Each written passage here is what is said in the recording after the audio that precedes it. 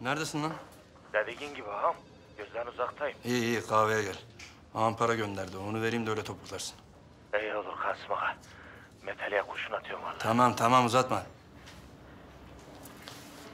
Söyle. Abi adam yanmış. Tamam sen boş bırakma. Tamam.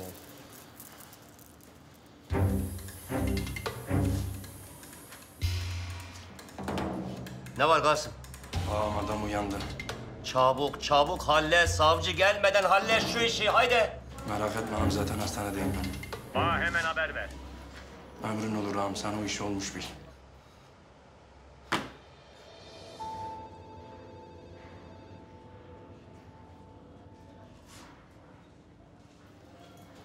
Adamı tuvalete getir.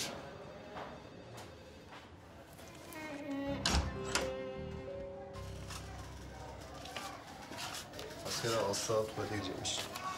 Ben hallederim.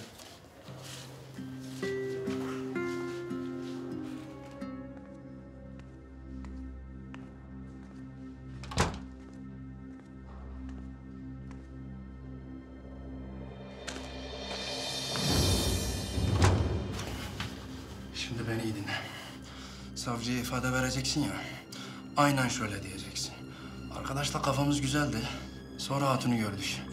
Onu biraz korkutalım dedik. Eğlencesine yani. Arkadaş hatun üzerine doğru yürüdü. O da bıçağı sapladı.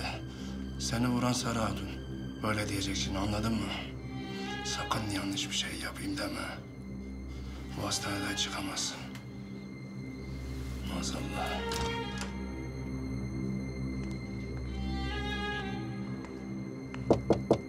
Kardeş hadi çabuk çık. Tamam, çıkıyorum hemen.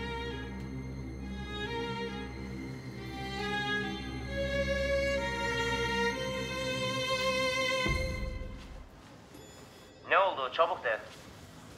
Tamamdır ağam. Kulağını iyice büktüm. Bizim istediğimiz gibi konuşacak. İyi diğerinin parasını verdin mi? Yok ağam. Hastanedeki işimi bitirdim şimdi oraya gidiyorum. İyi hallet gel. Ee, buna ne diyeceğim Fırat Efendi? Bütün yollarını bir bir tıkadım.